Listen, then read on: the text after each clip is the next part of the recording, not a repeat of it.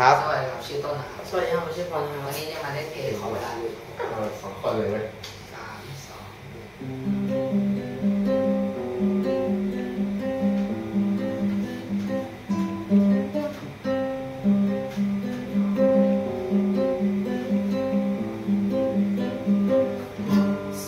ใจ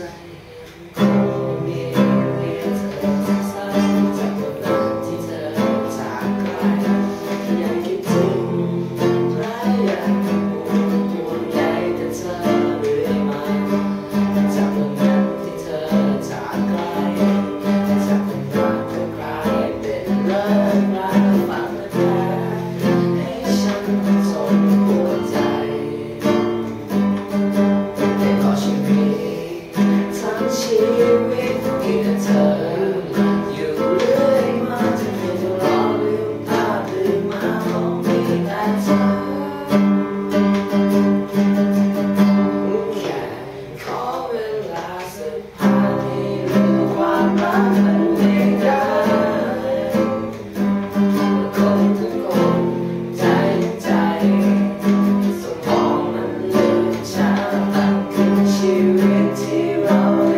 Gracias.